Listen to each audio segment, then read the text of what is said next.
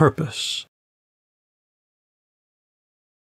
He who lives without a definite purpose achieves no higher end than to serve as a warning to others.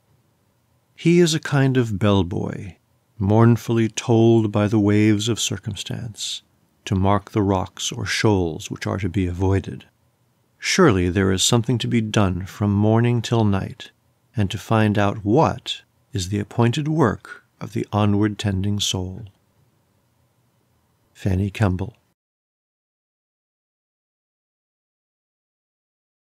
I ask you, while hope is still fresh and enthusiasm unchilled, to gain some conception of the solemnity, the vastness, the unity, the purpose of life, to pause in the street or on the river bank and ask yourselves what that strange stream of pleasure and frivolity and sorrow and vice means, and means to you to reflect that you are bound by intelligible bonds to every suffering, sinning man and woman, to learn, while the lesson is comparatively easy, the secret of human sympathy, to search after some of the essential relationships of man to man, to interpret a little of the worth of even trivial labor, to grow sensitive to the feelings of the poor, to grow considerate to the claims of the weak.